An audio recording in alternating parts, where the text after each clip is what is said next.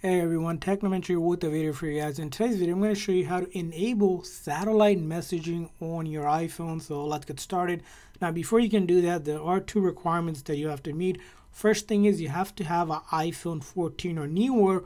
And the second requirement, it has to be updated to iOS 18 or newer in order to be able to use this feature. So once you have those requirements, you can do this to activate or enable uh, satellite messaging. First thing is you'll pull down the control menu here and it should man up here. And then in the middle you press and hold and this these connectivity options will pop up. But right down here a satellite option should be available for you. If I click on it right now I don't have the option because I'm connected to a zone where I have either Wi-Fi or cellular connection. But in a scenario when you are camping or you're traveling or you're in an area that does not have Wi-Fi or cellular connection this option will be you'll be able to click on it to turn that feature on so you can use the satellite one. Now along with that another setting to check out on how to actually point your phone to enable satellite if it doesn't show up is by going into your settings and then scroll the way down to apps. And then you're going to look for the messages app right here.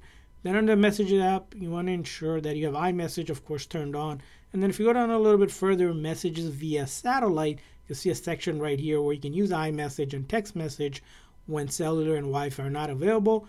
You can here show you a demo how that's done. So as you can see your messages via satellite. If I can click on it, I can do a test connection demonstration. I'll just turn off my cellular here.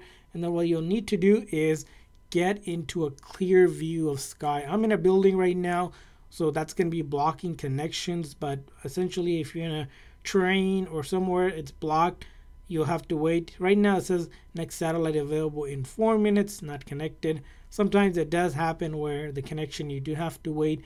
This is a new feature, of course, that's coming on. So it's still, there are some things going on with it. I think apple's still working on to figure out exactly how to make it more stable. But generally, it will ask you to point your phone either way, depending on where the satellite shows up, which we demonstrate in another video on how to connect your iPhone to a satellite.